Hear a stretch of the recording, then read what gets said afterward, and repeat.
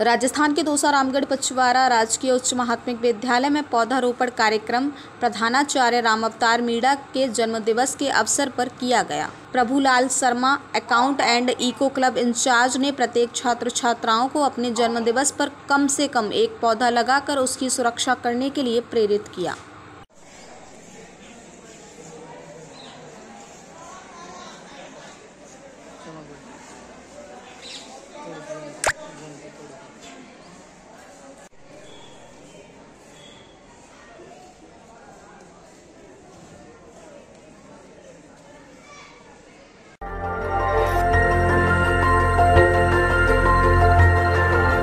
देखते रहिए डीबी भारती समाचार।